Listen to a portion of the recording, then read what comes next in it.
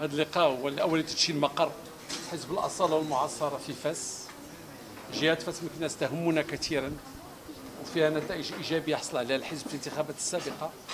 ونهيئ له 2026 كما نهيئ له النشاط السياسي لهذه السنة. نحن نعتبر أن الدخول السياسي هو دخول يومي ماشي فقط في شهر سبتمبر. لذلك جميع القضايا ناقشناها وجميع القضايا طرحناها الإخوة الحزب. وسنجتمع قريبا. مع الكتابة الجهوية تحيين برنامج اولا لتهيئ المؤتمر الوطني للشباب الذي سينعقده في شهر أكتوبر عفوا في شهر نوفمبر. وكذلك المؤتمر الوطني الذي سينعقده في شهر جانبير في شهر نوفمبر في حول آه، المنتخبين كل هذه المشاريع بلغناها للإخوة أعضاء الحزب. كذلك كان هناك نقاش حول إدارة مقر الحزب إلى غير ذلك.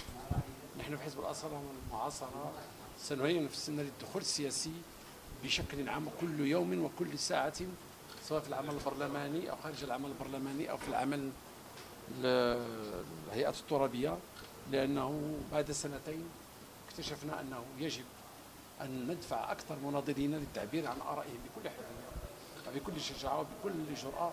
إذا لم أقل بكل صداميه حتى ينفذوا ما التزموا به مع المواطنين. راضيين على الأداء الحكومي راضيين عليه. إحنا جزء منه مسؤولين فيه. اللي ما راضيينش عليه هي بعض التصرفات اللي كتكون داخل الأغلبية اللي شيئا ما تمس بحقوق حزب الاصاله والمعاصرة. شكرا. السلام عليكم. هشام اعطو رئيس جامعة كندر سيدي خيار. اليوم حضرنا في افتتاح ديال المقر الجديد ديال الأصالة والمعاصرة بمدينة فاس قرب الولايات الأمن بفاس. آه، بحضور السيد الأمين العام ديال حزب الأصالة والمعاصرة السي عبد اللطيف وهبي. وحنا بدورنا ك ك آه، كمدينة صفرو حاضرين بقوة رؤساء الجماعات وحنا جد فخورين بهذا بهذا الافتتاح ديال هذا ديال هذا المقر. وإن شاء الله باش يكون واحد النفس جديد بالنسبة للمستشارين وبالنسبة لرؤساء الجماعات آه، الحزب ديال الأصالة والمعاصرة.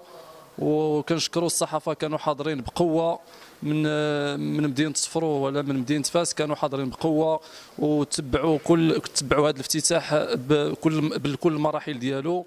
وكنشكركم بزاف.